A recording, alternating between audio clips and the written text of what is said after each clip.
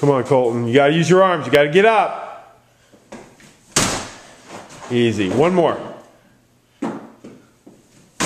Okay, good job. You okay?